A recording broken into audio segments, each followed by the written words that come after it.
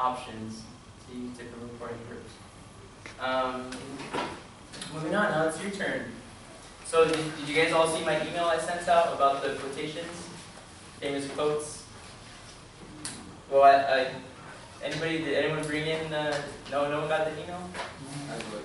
And you had to bring in like one of your favorite quotes. Okay. Well, whoever brought it in, share there with your group. But I also included a list just in case uh, you didn't see my email. I included a list of some famous quotes that you can use in groups. So what I want you to do in groups, uh, we can do groups of three groups of four groups of four, four, four, three groups of four. Three.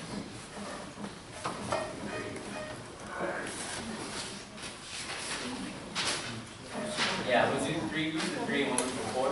Work out better. So in groups, share your favorite quote, proverb, or saying that you prepared for class. Hopefully you have one prepared already. If not, you can choose one of the ones I highlighted or provided in the bottom. Um, and then you write that down in the, the space below. And then next, we're going to try to paraphrase that quote.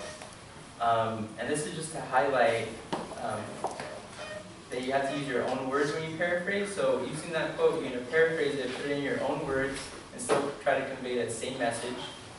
And then we're going to see what we come up with as a group, and we're all going to share that. And then, um, then we're going to start using your first drafts. So I have your first drafts ready as well. But we're going to do the first activity, okay? So I have you guys and Kat, these guys, and then I'll have you guys work together, you three, uh, you three, you can, and then I'll keep you guys, you four together.